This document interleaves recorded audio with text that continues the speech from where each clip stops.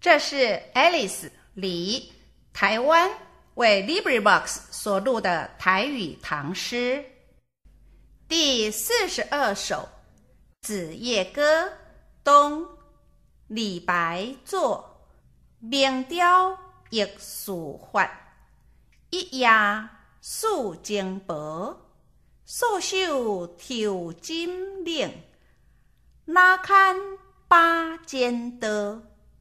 彩虹几弯的，几日到临头。完，LibriVox 的录音是公众所有的。